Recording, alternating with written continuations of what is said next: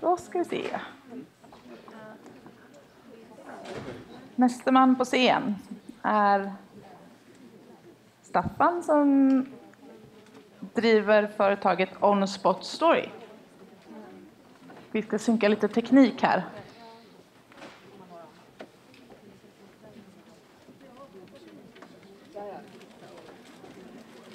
Kan ni passa på att sträcka på er lite så ni orkar här.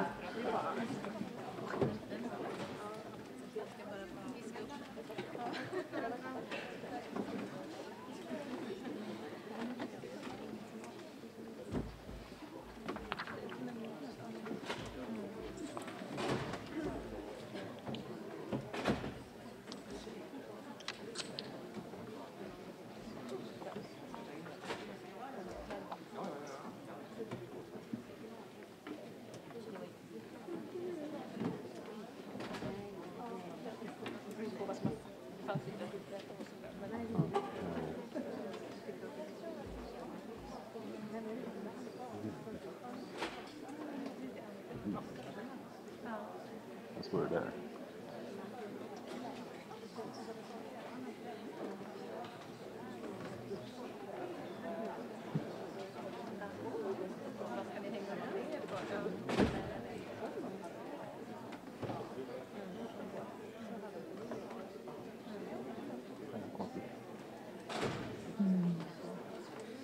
Springer man. Vi kan köra så här då.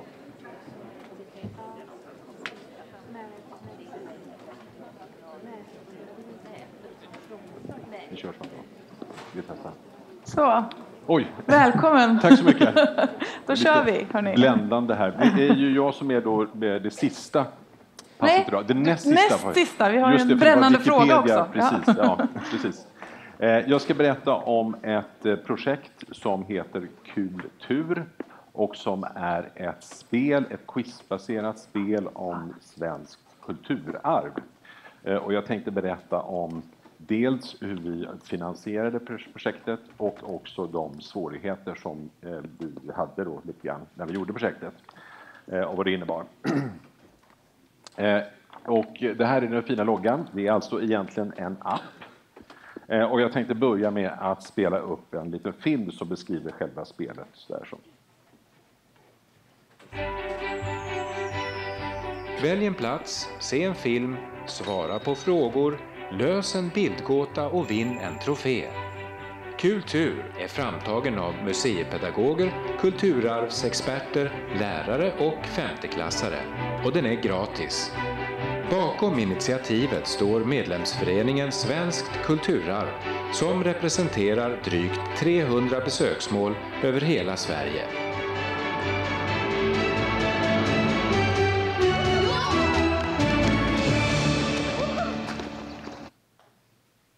Ja, eh, och det här var någonting då som vi började fundera på 2013.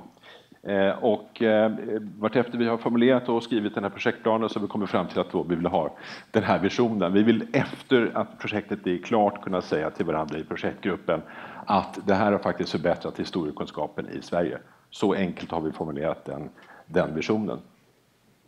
Eh, vad som var lite grundläggande för oss när vi gjorde det här, det var det att vi ville att appen skulle vara lärande, den skulle skapa besök och den skulle inte vara ett tomtebloss. Det vill säga projektet skulle bara inte dö när pengarna var slut.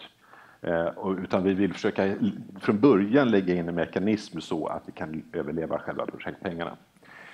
Eh, det var de här tre parametrarna som vi gick in i projektet med och det här var någonting som vi började tänka på då, eh, 2013. Och det var eh, jag då på Måns på Story och sen så var det Christian Arnet på Svea Television eh, och Lena Sjölin på Svensk Kulturarv. Och Svensk Kulturarv känner ni säkert till, det är en medlemsförening med 300 museer i Sverige. Eh, oss på Story, vi håller ju på med guider och appar och sånt för museer. Eh, och Svea Television är ju en filmproducent som har gjort, eh, som har gjort eh, film för TV4 och, och massa museer i, i 20 år. Så att Svea Television har ett väldigt fint filmarkiv. Och vi ville då försöka utnyttja alla de här komponenterna då med filmen och vi kan programmera och svensk kultur och så vidare till att göra ett projekt. Eh, och så hade vi också med oss en annan partner som heter Prat Kommunikation som kanske skulle kunna hjälpa oss med, med eh, PR-biten. Eh, jag och Christian har barn i 12-årsåldern Eh, och därför tänkte vi att, eh, och de flesta grejer som vi gör är ju då för vuxna, men vi tänkte att vi vill göra någonting för barn och femteklassare om svenskt kulturarv. Det var det som vi liksom gick in i det här projektet med år 2013. Så vi började formulera en liten eh, enkel projektplan och sen så försökte vi då, vi klipp och klistrade och fixade ihop en liten text som vi tyckte var bra, så sökte vi pengar hos Kulturbryggan och fick nej.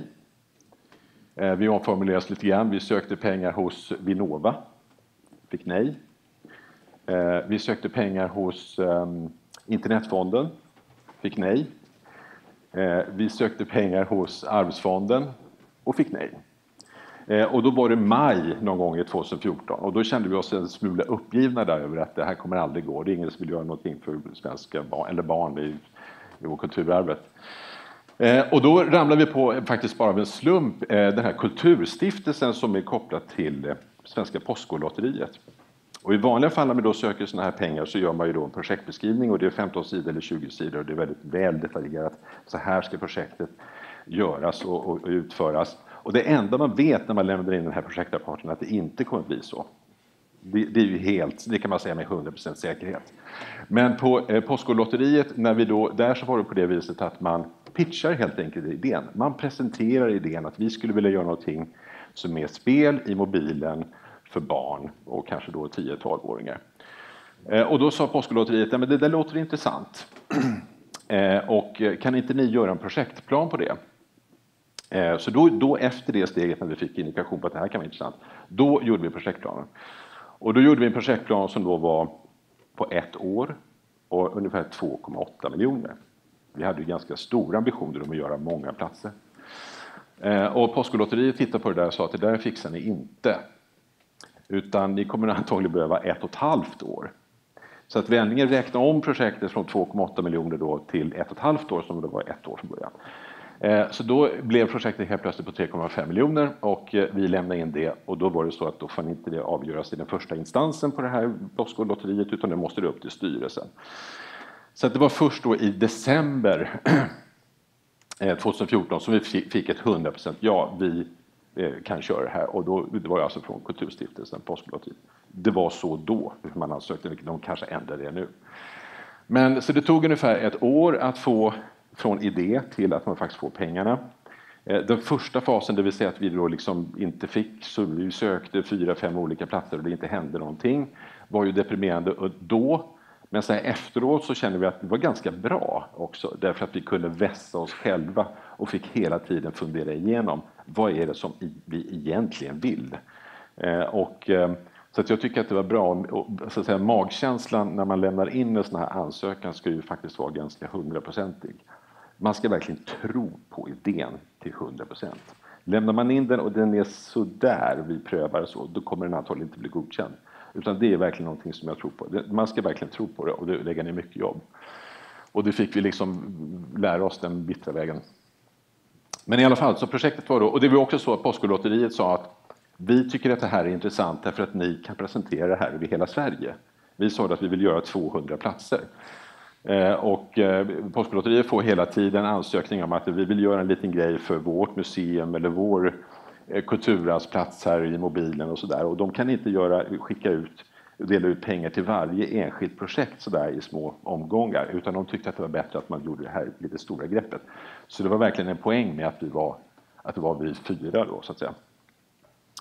Så att den första, i första 2015 eh, så startade vi igång projektet Eh, och eh, det pågår då fortfarande för ett och ett halvt år. Vi kommer avsluta det då i juni, i slutet på juni. Eh, vi har satt upp lite mål för naturligtvis eh, för det här. Vi ska göra 200 kulturarvsplatser i Sverige. Eh, vi har lite andra mätbara mål som vi kan mäta sen när projektet är slut. Vi ligger väl inte helt fel, tror jag, när det gäller de där siffrorna, möta dem. Eh, men projektet går helt enkelt ut på att vi bygger ett spel, ett quizbaserat spel. Eh, vi tänkte inte att vi ska försöka konkurrera med King eller liksom någon jätteavancerad speltillverkare, för det har vi verkligen kompetens eller tid eller råd eller möjlighet till att göra. Utan vi gör ett enkelt quizbaserat spel. Eh, vi vill också alliera sig ganska tajt till skolan därför att det är ju ändå så att vi på något sätt vill vara lärande. Eh, och det är genom skolan som vi kanske kan få ut det här, museerna och skolan.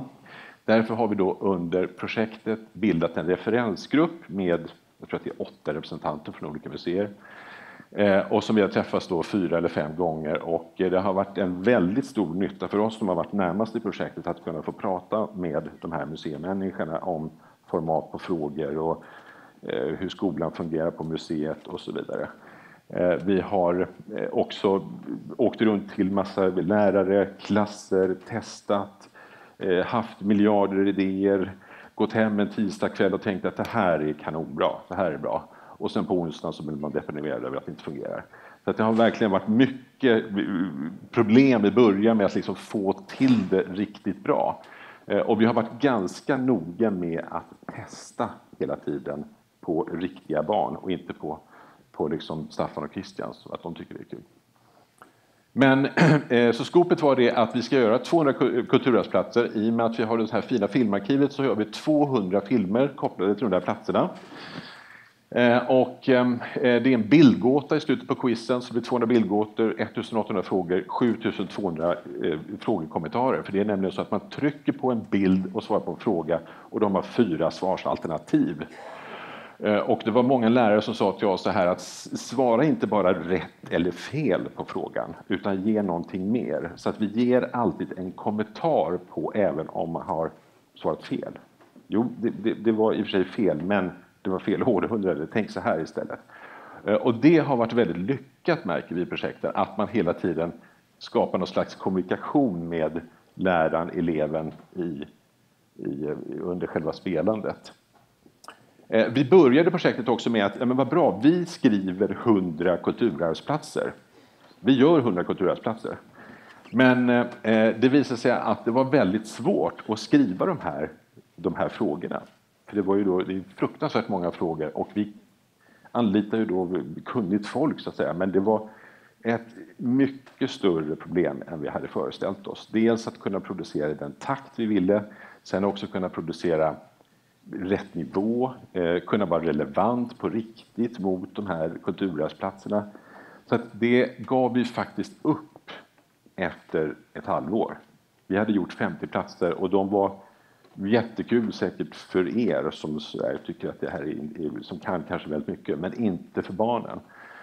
Eh, så då eh, fick vi tänka om och då engagerade vi ju då Svensk kulturarvs medlemsförening och de museerna som är med där. Eh, och idag så har vi ungefär 100 kulturarvsplatser ute i appen Klara.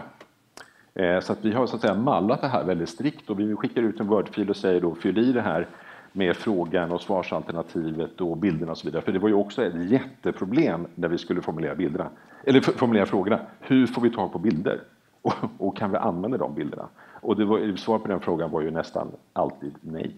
Det kan vi inte göra. Vi kan inte chansa heller. Eh, men när vi började fråga kulturarvsplatserna så märkte de att, tyckte de att det här var ju jättebra och trevligt. Så att vi har fått överraskande stor hjälp utav och engagemang från kulturarvsplatserna faktiskt. Så idag finns det 100 platser klara med film och quiz och alltihopa. Eh, och ehm, vi har 50 som är nästan klara, vi väntar på lite mejl från andra. Och så här. så att vi kommer nog gå i mål med det här. Nu är det ju så att det är ju liksom ett CMS-baserat system så att det finns möjlighet för Eh, alla kulturarvsplatser att ändra, bygga på, lägga till och så vidare. Vi gjorde en lansering av eh, appen i januari tillsammans med några museer. Eh, och det kom upp mycket intressanta idéer om att man kan göra det, koppla det till en utställning kanske. Spela en quiz när du går på en utställning. Då kanske engagemanget stiger lite grann istället för att du bara går runt och tittar. Barnen får frågor, tittar på, letar efter den här bilden och så där skapar lite interaktivitet. Spelet i sig är ju inget märkvärdigt överhuvudtaget. Utan vi har snarare liksom dragit ner på komplexiteten i spelet så mycket som det nästan bara går. Bara därför att vi dels ska klara av det, men sen också att det ska kunna klaras av av alla. Vi vill inte gå in på banan med att vi ska vara någonting, något jätteavancerat. Ehm, så det är väl det ehm, man kan säga eh, om det. Eh, och då är det så att vi, vi vill ju också då integrera oss så nära som möjligt med skolan. Eh, vi vill att det ska användas till skolundervisningen. Och istället för att man kanske åker ut till den här platsen som man inte har tid eller möjlighet till, man besöker ett museum i bästa fall, en eller två museer, men man har inte tid att åka till kulturarvsplats, så kan man faktiskt uppleva lite av den här kulturarvsplatsen i mobilen med filmen och quiz. Eh, och just nu så har vi då ute i skolorna ett, eh, en tävling eh, och där barnen ska leta reda på den här, vilken bild representerar den platsen? Och då får man så att säga spela sig fram till den här platsen och försöka hitta den bilden. Och, så att vi hade tänkt igenom det där ganska mycket tror vi och försöker få det sådär. Det har varit ett problem bara. Och problemet är det att det är jättesvårt att hitta lärarna, att nå ut lärarna. Eh, det, det, vet vi inte hur vi ska göra. Vi ska börja med Facebook-annonsering nu, kanske försöka nå pappa eller mamma och på det viset. Men det har varit problematiskt. Eh, att komma in i skolan har inte varit så lätt som vi hade trott. Så det har varit ett problem tyvärr. Vi har varit på Skolforummässan och det finns ju, man kan använda det här på många olika sätt och också i, i eh, svenska för, för nya svenskar och sådär. Så men, men det har varit lite, så det, där, det, det är svårt faktiskt att få till det. Vi hade tur. Eh, vi, vi fick TV4s morgonsoffa eh, och då tjoff, så åker ju statistiken upp dagen efter blixtsnabbt. Eh, men i övrigt så får vi ju då marknadsföra produkten genom Svensk Kulturas kanaler och traditionellt. Projektet tar ju då slut i juni, men då är det på något sätt som att den är klar och det är då det kan börja användas. Så att vi vill ju vi vill ju verkligen inte stanna projektet nu, utan det är nu på något sätt det börjar. Det är nu vi har gjort allting. Eh, och nu ska vi försöka skapa ännu större engagemang för det här. Då. Eh, och eh, så här ser då loggan ut, finns naturligtvis gratis i App Store och Google Play. Man börjar spelet med att man väljer en plats. För övrigt kan jag säga då att alla de här platserna har ju då referensgruppen valt. Vilka platser ska vi ha? Vi försöker vara lite väl representerade. Jag kan säga att det är ju ingen kommersiell produkt det här, som, det är ju Svensk kulturvärld som, som levererar den här produkten. Eh, man väljer en plats och sen när man väljer en plats så får man då möjlighet att titta på en film om den platsen. Och den filmen är då strikt mallad på 60 sekunder. Kulturarvsplatserna behöver inte göra filmen själv utan den gör vi. Och ungefär hälften av filmerna har vi kunnat gjort med arkivmaterial. Resten av filmerna får vi åka ut och filma själva. Ehm, och, eh, så det, det, har ju gått en hel del pengar på att bara liksom få ihop det här materialet. Men eh, så vi ska kolla på en liten film då på 6 sekunder om Kalmar slott. Här höll Erik hov. Älskarinnorna var många och med tiden blev en av dem en favorit, till och med drottning. Det blev till slut Eriks fall i en bitter brödrafejd. Kalmar slott är en av Sveriges Vasaborgar, men det började byggas redan på 1100-talet. Den populära slottskyrkans inredning är från 1600-talet. Spåren av epoker är många. Och här finns en skattkista med troféer. Kistan öppnar du med ett lösenord som du får fram genom att svara på frågor. Vilken Agda sov här? Och vems mamma är detta? Varför ansågs vattnet i brunnen heligt? Vilka två bollsporter tog kung Johan III till Sverige? Och vilken nordisk union skapade drottning Margareta? Svara på frågor och spela hem en trofé. Ledtrådar i den här filmen hjälper dig att svara rätt. Välkommen till Kalmar slott. Christian ville att jag skulle visa fyra filmer, men då sa att nej, det är för mycket, så vi kör bara två. Det här anropet var en gång ett begrepp i varje svenskt hem, särskilt under andra världskriget. Från Motala nådde man både Stockholm och Göteborg. Här kan du se hur radion utvecklats och här står också den första sändaren från år 1927. Radiomasterna är 120 meter höga och i en av dem kan du klättra upp. Och här finns en skattkista med troféer. Kistan öppnar du med ett lösenord som du får fram genom att svara på frågor. Mottagaren i den här apparaten består av ett visst ämne, vilket från vad är namnet Luxor hämtat? Vad användes för att kyla ned radioutrustningen? Och vem var Sven Jerring? Svara på frågor och spela hem en trofé. Ledtrådar i den här filmen hjälper dig att svara rätt. Välkommen till Sveriges rundradiomuseum i Motala. Stockholm, Motala. Stockholm, Motala. Ja, så börjar då varje, kan man, man kan alltså titta på en film på varje gång man väljer en plats. Och sen så trycker man på quizet och då får man de här nio bilderna och då ska man trycka på en bild, svara på en fråga och vartefter så plockar man bort de här bilderna och under det här så avtecknas då en, en, en undre bild som är en bild där det blir en bildgåta till. Eh, nu ska inte jag liksom, eh, sådär, manuellt berätta hur appen eh, fungerar utan det är bättre att vi laddar ner den ikväll och testar den. Eh, så att det är eh, helt enkelt quiz och frågebaserad eh, tanke. Man kan få eh, guldmynt och det är pokaler och troféer och så vidare. Men mycket jobb är också med att ta fram alla symboler, grafik och så vidare. Så att det har varit en eh, väldigt eh, intressant resa. Eh, ja, bildgåtan löser man och eh, då får man trofé. Det var allt jag hade att säga faktiskt. Jag tänkte jag kör på här bara, så ni är trötta. Så, eh, tack så mycket.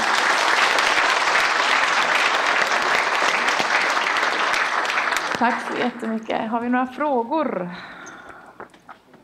Ja, bra. Ja. Jag har en fråga. Eh, jag, det där var ju jättespännande och jag ska ladda ner den där appen ikväll. Eh, Jag, är, jag forskar om ungt kulturarv och jag tänker eh, barn är ju liksom konsumenter av kulturarvet och i er app så ges de också möjlighet att problematisera kulturarvet. Eh, Förstår du vad jag menar? Att Ja. de också lär sig att tänka självkritiskt och förhålla sig till Jaha, det här kulturarvet, eh, Erik, han hade många älskarinnor. Jaha, alltså man kan Just det. Och, fördjupa den där, de där frågorna också, så att det också handlar om, om urvalet och varför har vi ett kulturarv och, och varför är det viktigt mm, För frågan, det ja, vänta, jag ska bara ja, repet- mm. för, för inspelningen här Ja. så ska jag repetera lite. Frågan rör alltså ehm, om det ges utrymme att problematisera eh, Mm. för att lärandet att problematisera det som händer i, i, och hur urvalet då har gjorts kopplat Just till det. Det finns ju så att ingen liksom, funktionalitet i appen som gör att man kan problematisera på det viset. Men däremot har vi ju varit väldigt noga, både när det gäller urval av platser, eh, Eh, hur vi formulerar oss i filmerna. Oerhört lätt. Vi har gjort om många filmer att man blir sådär liksom manligt och kunger och, och alltihopa. Så det har vi haft mycket tankar på. Också frågorna, hur de formuleras. Väldigt lätt att liksom vrids åt ett håll.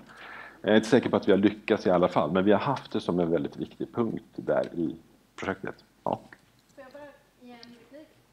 Jag tänker att det, jag tänker att det gäller allt, all kultur, att det, att det är just förmedlas och läggas på, utan att, att barnen är ju, det är ju de som man ofta pratar om ska ärva det här kulturarvet, men att man också möter barn, tänker jag, just som, som, som aktörer och förmågor, eller konsumenter, att kunna tänka självkritiskt, att Mm. ger redskapen för det, i den bästa av världar, Mm.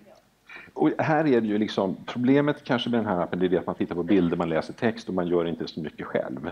Och det har vi tänkt på ganska mycket. De, vi hade väldigt höga ambitioner från början med att, att skolklasser själva skulle kunna skapa en egen film om kulturarvsplatsen. Och jag tror fortfarande på det om man kan hitta tid och engagemang i skolan. För då blir det det att om du måste börja skapa själv, då måste du åka dit, du måste ta bilder, du måste tänka igenom ett manus och varför skriver vi på det här viset och så vidare. Så att man får ett det, det skulle jag vilja komma åt, att liksom försöka få mer, mer tankarbete hos barnen än att bara ta emot eller stå för olika frågor. Ja, Jo, jag tänkte lite grann på kartbilden som du visade där, att det var väldigt tomt i norra Sverige. Ja, Och man kan ju tänka, finns det inget kulturarv där, eller var det så att ni inte hade några referensgrupper därifrån, eller hur blev det så?